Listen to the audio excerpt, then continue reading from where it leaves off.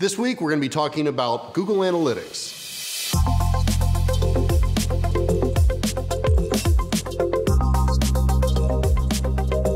What's up, fish fans? My name is Marcus, and you're watching Marketing Madness, the Bluefish vlog. Measuring the behaviors of those visiting your website is the foundation of any good digital marketing strategy. You have to know what is resonating with your audience. So I want to use this episode of the vlog to explain Google Analytics. If you're not familiar with Google Analytics, it is the standard when it comes to tracking website traffic.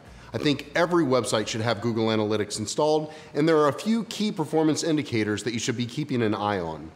If you have Google Analytics installed, then go ahead and log in so you can follow along. When you first log into the reports, Google Analytics shows you a graph of the visits over the last 30 days.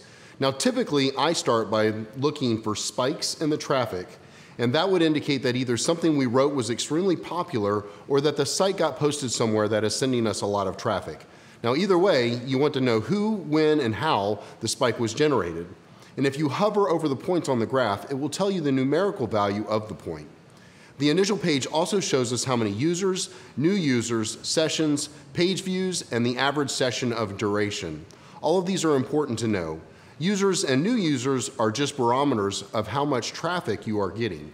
Generally speaking, the more the better, but I also want to caution you that a ton of traffic without conversion means you're missing something. I'll gladly take a lower numerical value of visitors for a higher percentage of conversions.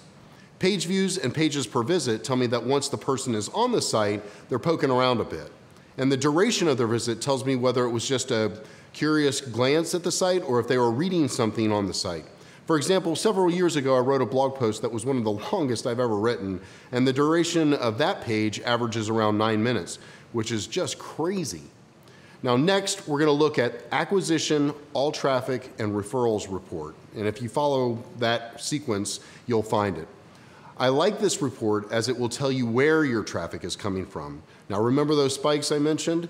Those should manifest themselves here as a site that has sent you a large amount of traffic over the last 30 days.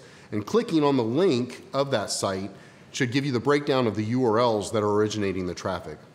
And the last thing, and quite possibly the most important that I look for, is under behavior, site content, all pages. This report tells you what people are looking at on your site. So more than likely, the forward slash will always be at the top of the list. I like to check these key performance indicators weekly, especially if we're blogging a lot. It tells me what topics are hitting the mark with folks that read our blog. And if a certain topic is getting more interest than others, then I will spend more time writing content on that topic. Well, that's a wrap for this week. I want to thank you for checking in. Make sure to hit that like button, and if you have any questions or comments, leave them down below. And if you want to talk about how Bluefish can help you grow your business, just send us a message and we'll get the conversation started.